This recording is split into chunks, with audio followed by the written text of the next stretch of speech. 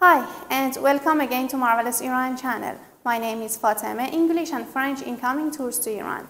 If you are interested in Iran's tourist attractions, please subscribe on my channel and turn on the notification. Every single Friday and Tuesday, we have a new tourist attraction to discover together.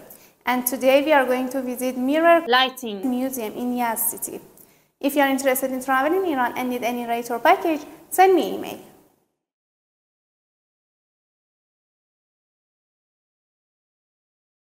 Mirror and Lighting Museum in Yazd is one of the most beautiful museums of this ancient city, which, besides the object and monuments, is very spectacular by itself.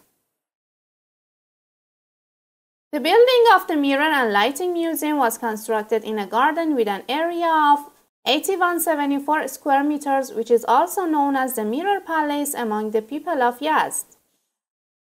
In Mirror and Lighting Museum in Yazd, you will be faced with a European and classical architectural style that at first glance will impress its viewers.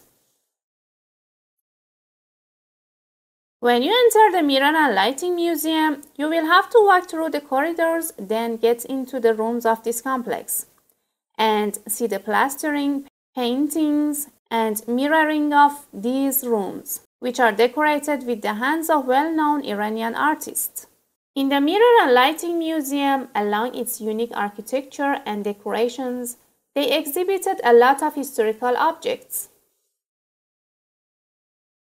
In Mirror and Lighting Museum in Yazd, you will see 124 works of various types of oil burner, candlesticks, ancient artifacts, and maps, which are back to Sassanid era.